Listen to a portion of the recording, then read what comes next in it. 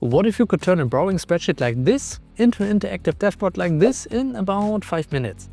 In this dashboard I can now see my top KPIs, filter the data and even export it as an HTML file. So I could take that HTML file, attach it to an email and send it off to my manager or colleagues instead of putting together a PowerPoint presentation. Now about 4 years ago I showed you a solution where I took the same spreadsheet and built something very similar using Python. But some of you pointed out that this method does of course take quite a bit of time. These days though with AI it is much easier. So today I'm going to show you how you can turn your Excel data into a web application.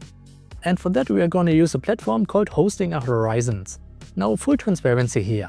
This video is sponsored by Hostinger, but after testing the platform for a while, I'm pretty impressed with it and I think you will be too. Alright, and with that said, let us head over to Hostinger Horizons. All you need here is a prompt. The starting prompt should be pretty high level, but it also needs to clearly say what you want to create. According to the Hostinger docs, it should be around 2 to 5 sentences long. So with that in mind, here's the prompt I'm using. Build a sales dashboard for me using the data from the first sheet of my Excel file. At the top, show key performance indicators like total sales, average customer rating, and average sales per transaction. Below that, include charts for sales per hour and sales per product line. The dashboard should support dynamic filters for city, customer type and gender and automatically update when any filter is changed. Also, I would like to have an export to HTML button that creates a fully self-contained HTML file. It should include all the charts and interactivity so the file works on its own without needing the original Excel file. Also, the exported version should clearly show which filters were applied. And below that, I just pasted in my sample data as markdown.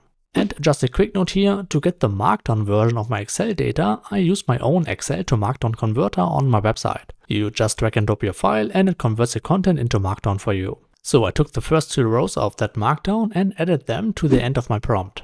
And of course, I will also make sure to leave the link to the markdown converter in the description box below. Alright, and with that in place, I just need to press one button and the AI gets to work.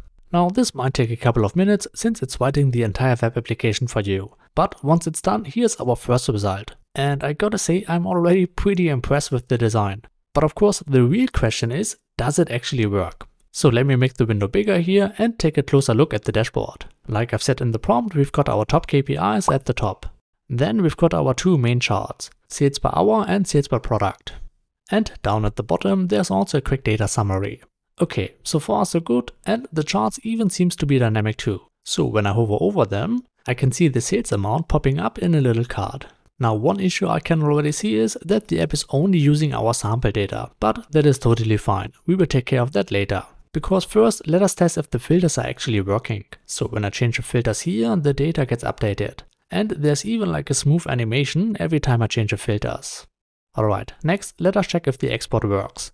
And perhaps I should also explain why I wanted the export button in the first place. So the idea behind this is that if you're a data analyst, you could build this web application as an internal tool for yourself. Then when you are ready to share the results with your stakeholders, you can just export the dashboard as an HTML file and then send it off to your manager or colleagues instead of having PowerPoint presentation. So that is the basic idea of the export button. But let us make sure that it's actually working. So when I click the button here, it does actually download an HTML file. And when I open it, here is what it looks like. And I think this already looks like a clean and professional report. It shows the date and time the report was generated, which filters were applied, and all the data is below. Now let's try it again, but this time I will apply some filters first. So let me switch back, change the filters and export the report again. Alright, and here's our new report. And it looks like that it's working as we now have a clear indication of which filters were used. However, for some reason we now have a donut chart instead of a pie chart and the overall design looks a little bit different from our main dashboard. But I guess that is something we can tweak later. Another difference is that below the charts we can actually also see our data and this by the way also confirms our filters for the city, customer type and gender were all applied correctly. So yeah, I think with this we've got a pretty solid starting point. But of course the main issue is that we are still using our sample data. Let us fix that by adding a settings area where I can upload my own Excel file. So after inputting my prompt here, let's see if it works. Alright, and here's a new version. And I can already see that we now have an extra button for the settings. When I click on it, I get an option to upload my data. So let's do that. I will select my file and hit the upload button. And now if I go back to my dashboard, it should be using all of my actual data. So just to validate that, I'm gonna open up the website I coded a few years ago with Python so that we compare the figures side by side. And by the way, I also like that the new dashboard is even mobile responsive. So the filters move to the top when I resize my screen. But of course, the most important thing is that the data is actually correct. And just looking at the data, the top KPIs match exactly. But let's also check the sales per hour and product line just to be sure. So for 7 pm, the sales were around 39,000. And yep, if I hover over my chart here, I can see that the number is matching. And the top product category is food and beverages with around 56,000. And if I check it here, I can also see that it matches. But I think we might need to do some quick design tweaks because as you can see here, some of the numbers are really hard to read. But that should be actually an easy fix. Because I think the most important part is that the data is actually matching. And that is why just to be totally sure, let me also apply some filters. So I will filter the data by city, customer type and gender. And yep, when I look at the data, everything looks good to me. And even when I export it, the numbers still come out correctly. So yeah, this is all working and we've got our full dashboard in just a couple of minutes. Honestly, I think that's kind of mind-blowing to me, because actually I spent quite a bit of time building the dashboard you can see here on the right back then. But now with AI you can create fully functional dashboards in minutes without touching any code. Pretty cool I think. And of course you can still tweak this one here further. Maybe you could add a button to export the data back to Excel or fix some of the design issues. Or also change some of the chart types like the sales by product into a horizontal bar chart instead of a pie chart.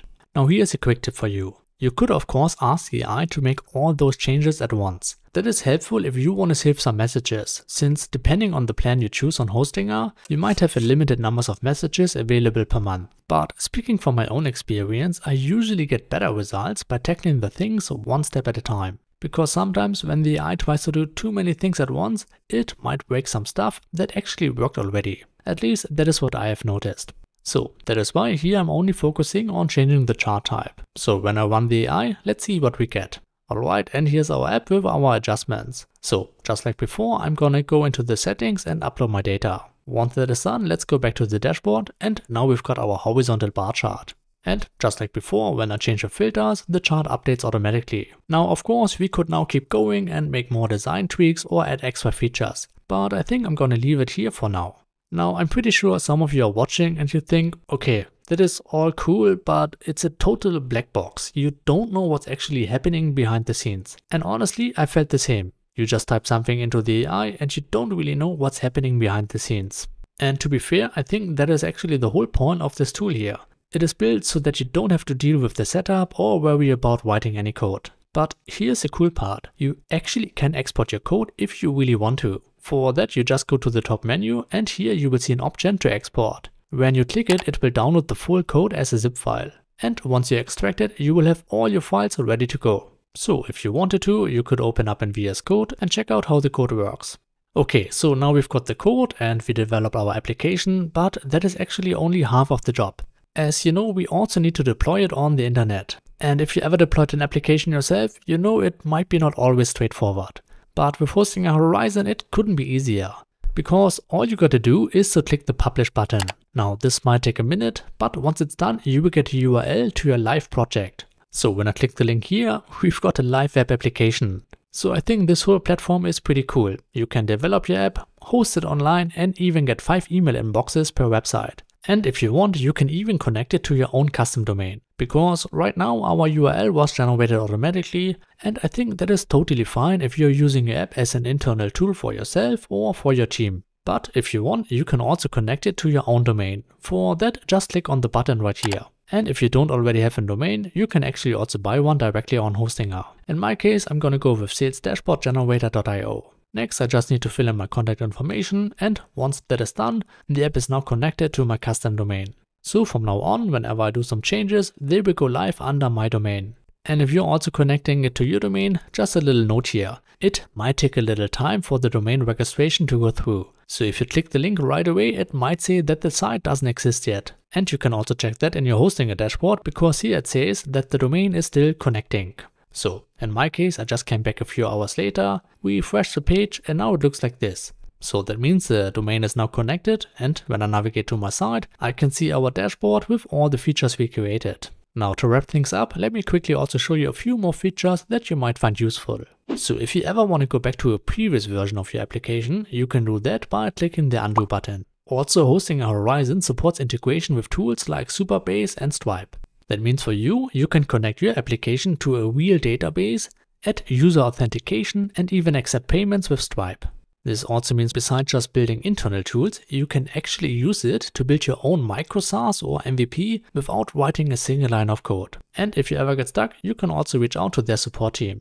So yeah, overall I think this is a really solid platform. You don't have to write a single line of code and you've got everything included. So the hosting, the domain, the email, everything you actually need to build something. Alright, so what is my final conclusion here? I think you've seen it throughout the video, but I'm pretty impressed by the results and I do see a lot of use cases of this. For example, when I brainstormed ideas to showcase in this video, I thought about a waterfall chart generator, an internal project management tool, or even an inventory management system. Because if you tried building those kind of tools with Excel and VBA, it will take you quite a lot of time. So if you now have an idea in mind, why not give Hostinger Horizons a try and launch your idea today. You can also use my discount code SVEN to get 10% off of your first month. Alright, and with that I wish you happy building. Also feel free to let me know in the comments what are you gonna create. And as always, thanks for watching and I will see you in the next video.